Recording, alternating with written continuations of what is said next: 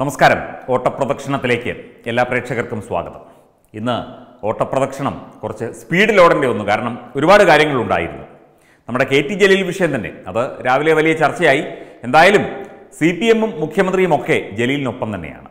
ജലീൽ അദീപിന്റെ അതായത് ബന്ധുവായ അദീബിന്റെ നിയമനത്തിനായി പ്രത്യേകം അതിന്റെ മാനദണ്ഡങ്ങൾ മാറ്റിയെഴുതണം എന്ന് ന്യൂനപക്ഷ ക്ഷേമ വകുപ്പ് സെക്രട്ടറിക്ക് അയച്ച കത്താണ് രാവിലെ പുറത്തായത്.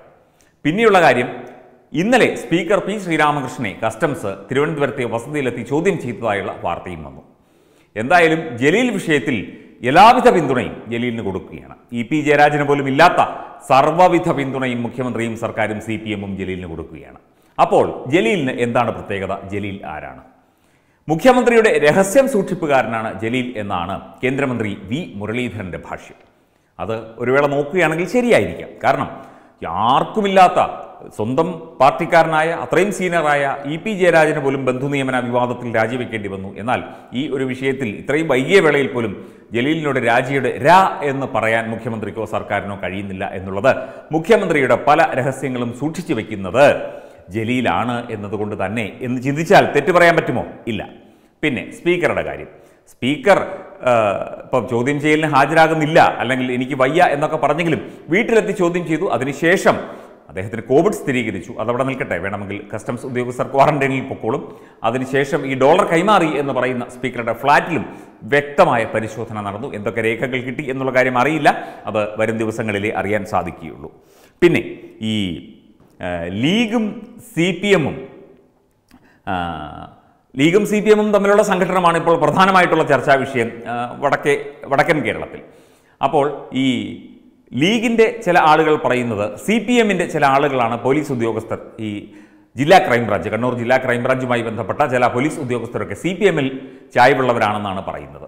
പിടിയിലായവരെല്ലാം ഈ മൻസൂർ വധക്കേസിൽ പിടിയിലായവരെല്ലാം സി പി എമ്മിന്റെ അല്പം ഉയർന്ന സ്ഥാനങ്ങളിൽ ഇരിക്കുന്നവരാണ്. ആ കൂടെ പോലീസുകാരും കൂടെ അങ്ങനെ എങ്ങനെ അന്വേഷണം നടക്കും? ലീഗും കോൺഗ്രസും ഒക്കെ അതാണ് പറയുന്നത്. ഏതായാലും വൈകുന്നേരത്തോടു കൂടി അന്വേഷണ സംഘത്തെ മാറ്റിയിട്ടുണ്ട്. ജില്ലാ ക്രൈംബ്രാഞ്ചിൽ നിന്ന് സംസ്ഥാന ക്രൈംബ്രാഞ്ചിലേക്ക് ഇതിന്റെ അന്വേഷണം ഏൽപ്പിച്ചിട്ടുണ്ട് എന്നാണ് മനസ്സിലാകുന്നത്. പിന്നെ ഈ കുരിശ് നാട്ടി അവിടെ കപ്പോള കെട്ടി അവിടെ ഇത്തരത്തിൽ ആരാധന നടത്തുന്ന രീതി പല വനപ്രദേശങ്ങളിലും ഇതിനു മുൻപും കണ്ടിട്ടുണ്ട്. പല കുരിശുകളും നീക്കം ചെയ്തിട്ടുണ്ട്.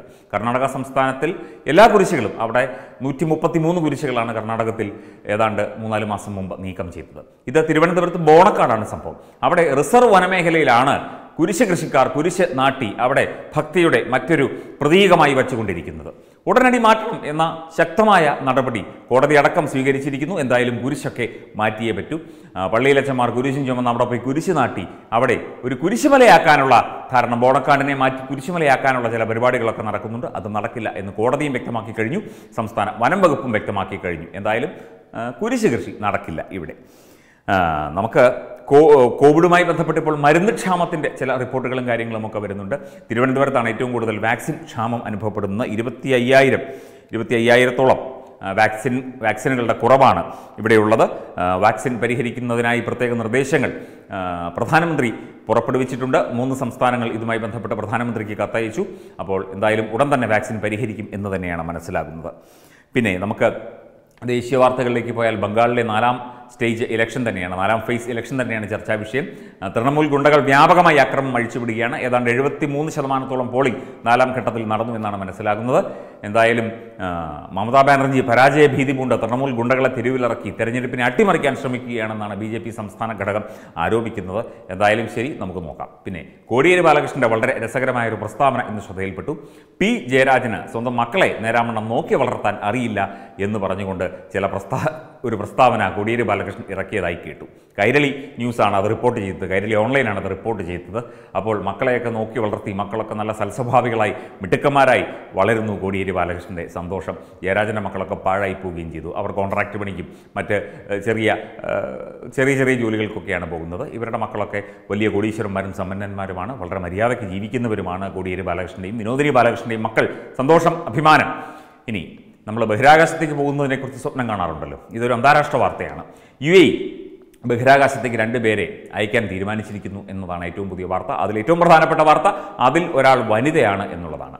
യു എയിൽ നിന്ന് നിരവധി പേരുടെ അതിന്റെ പ്രൊഫൈലുകളൊക്കെ നോക്കി പ്രത്യേകമായി തിരഞ്ഞെടുത്ത ഒരു വനിതയാണ് യു എയുടെ ഭാഗമായിട്ട് യു എയെ പ്രതിനിധീകരിച്ച് ബഹിരാകാശത്തേക്ക് സ്പേസ് ഷട്ടിലിൽ പോകാൻ ഒരുങ്ങിയിരിക്കുന്നത് അവരുടെ പേര് നൂറ അൽ മത്രോഷി എന്നാണ്.